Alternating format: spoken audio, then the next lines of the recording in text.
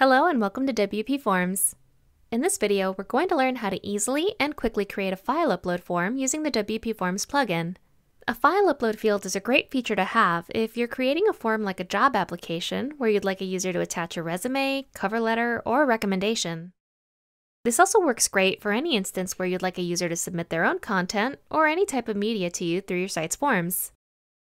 After you log into your WordPress site, let's first go to the plugins page and install WP Forms to your site. If you haven't done so already, you can download the plugin from the Downloads tab in your WP Forms account area. Don't have a WP Forms account? No problem. Go to wpforms.com forward slash YouTube to get 50% off your purchase. Afterwards, we can head back to our WordPress site, and on the Plugins page, we'll click on the Add New button on the top left corner, and then click on the Upload Plugin button. We'll then choose our file and select WP Forms and activate it once it's done installing. Once the plugin is installed and activated, we'll need to verify your copy of WP Forms by entering the license key in the settings page of WP Forms. You can find this key on the downloads page of your WP Forms account. Once the license key has been verified, we're all set and ready to get started on our form. The Pro level of WP Forms comes with a Form Template Pack add-on that has tons of different pre-made forms to choose from, which can save you a lot of time if you don't want to make something from scratch.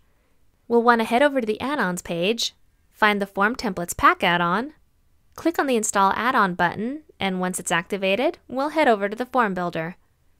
Go over to the left, and click on the Add New option. Once in the Form Builder, let's give our form a name. Mm, let's make a job application, so we'll call it that. And to save some time, let's use the file upload form template. The template comes with some basic fields already, like fields for a user's name, email address, and phone number. And as you can see, it also comes with a file upload field that they'll be able to use to attach a resume, cover letter, or anything else. When you click on the file upload field, you'll be able to customize it in a few different ways. Like with most fields, you'll be able to edit the label and description, but you'll also be able to make some specific customizations here too. The Allowed File Extensions field will let you limit or restrict the types of files that can be uploaded. So for example, if you want users to upload an image, but will only accept certain file types, you can specify which file types are in this field here, and separate each type with a comma. You can also specify the maximum file size you'll allow users to upload in megabytes. It's worth noting though that if this field is left blank, the value will automatically default to the maximum size your file's server will allow. You can find out what this limit is by hovering over the tooltip icon beside the field. If you need this limit increased, please be sure to reach out to your site's hosting provider.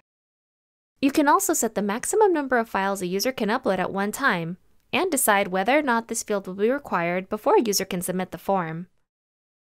Under the advanced options, you can choose between two different styles modern, or classic. The modern style is turned on by default and allows users to drag and drop files to attach to your form. This is also the style you should have enabled if you'd like for users to be able to attach multiple files at one time to your form. The classic style is instead a more compact file upload field, features a choose file button rather than a drag and drop style, and most importantly, will only accept one upload per field. You'll also notice a checkbox labeled Store File in WordPress Media Library. By default, all files uploaded by users are stored in the WP Forms folder inside the Uploads directory of your site. But if you'd like to make this a bit simpler, you can check this box and opt to have the files stored in your WordPress Media Library instead. Once you've configured the settings for your file upload field, let's go on over to the Settings tab on the left and make sure that our notifications are set up correctly. The admin email in this field is the admin email address for your WordPress site. So if you'd like the notification to go to a different email address, you can make that change in this field here. It's important to note that since file attachments can often hurt email deliverability, WP Forms doesn't attach your user's files in notification emails. So if, for example, a user uploaded an image, you won't see the image itself in the email notification. Instead, we send the file upload via email as links. After your notification settings are done and ready to go, be sure to configure your confirmation settings and we're now ready to add our form to our page. Go to your dashboard and click on Pages, Add New, and let's add a title to our page. From there, we'll click on the plus icon below the title and either scroll down to Widgets to find WP Forms, or you can type WP Forms in the search bar above.